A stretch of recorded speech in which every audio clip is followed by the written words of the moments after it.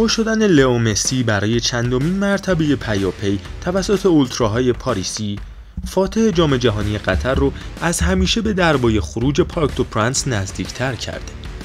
این بین اما آبیای ریاض که دنبال کم نیاوردن از النصریا و داغتر کردن تنور رقابت با ساکنین مرسول پارکند با پیشنهادهای نجومی رسما وارد رقابت با بارسا برای جذب لئو مسی شدند.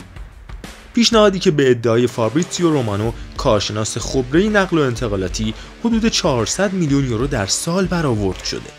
برای اینکه هر روز در جریان اخبار و اتفاقات فوتبالی قرار بگیرید می‌تونید subscribe کنید و بعد روی زنگوله بزنید تا از انتشار ویدیو مطلع بشید. در انتها هم اگه از ویدیو لذت بردید یادتون نره. با لایک و نظراتتون ما رو همراهی کنید. حالا اما ما با اسامی و حدس و گمانهای متفاوت پیرامون اردوی پر افتخارترین تیم آسیا ترکیب احتمالی فصل بعد اونا رو با هم مرور می‌کنیم ترکیبی که گمان حضور لوئیس انریکه سرمربی بارسای قهرمان اروپای 2015 و البته اسپانیای ناموفق جام جهانی اخیر به جای رامون دیاز روی نیمکتش هم میره. تو دروازه با توجه به سیاست های عربستان همچنان عبدالله المعیوف گلر پرسابقه الهلال جای خودشو داره. تو قلب خط دفاعی از سرخیو راموس پر افتخار برای ایستادن کنار جان کیونسون نام برده میشه.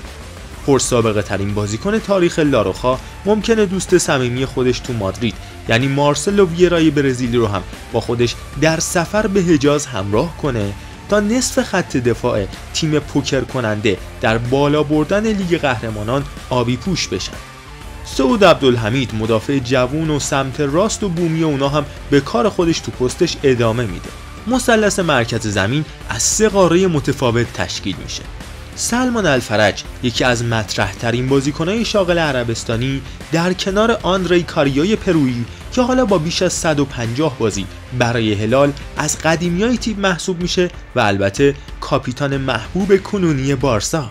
بوسکتس می‌تونه دومین سرخیوی ترکیب الهلال باشه تا پرسابقه ترین بازیکن تاریخ الکلاسیکو مرکز زمین رو رهبری کنه.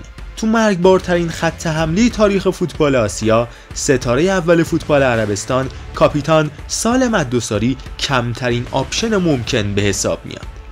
جایی که دوساری در کنار کریم بنزما صاحب توپ طلای سال 2022 و البته لئو مسی برنده 7 توپ طلا در طی 13 سال قرار می‌گیره.